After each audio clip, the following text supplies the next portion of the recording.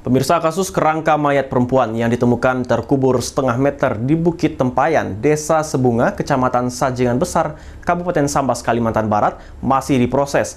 Sementara terduga pelaku sudah diamankan oleh polisi militer Kodam 12 Tanjung Pura untuk dilakukan pemeriksaan mendalam. Hal ini dikatakan Panglima Kodam Daerah Militer 12 Tanjung Pura, Mayor Jenderal TNI Iwan Setiawan, terkait perkembangan kasus penemuan kerangka mayat di Sambas, Kalimantan Barat. Menurut Pangdam saat ini terduga pelaku pembunuhan diamankan setelah adanya laporan polisi dari Polres Sambas.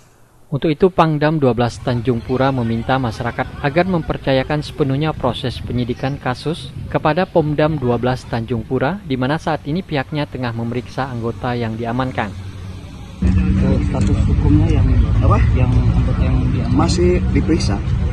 Ya masih diperiksa makanya kan proses dari kepolisian ada apa eh, diduga baru diserahkan barang bukti pada kita. Nah, kita mengumpulkan barang bukti uh, berupa penyelidikan dan melengkapi barang-barang bukti termasuk nanti manggil saksi-saksi laksanakan penyidikan. Nanti akan disampaikan secara terbuka.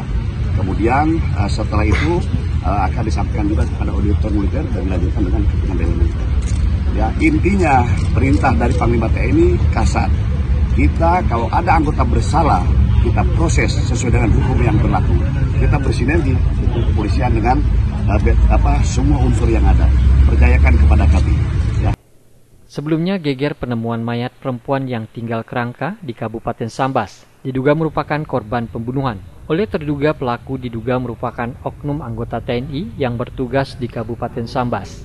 Oknum TNI berinisial Y yang bertugas di Kabupaten Sambas diindikasikan sebagai orang terdekat korban yang merupakan pacar dari korban. Dari Pontianak, Kalimantan Barat, Uun Junior, iNews melaporkan.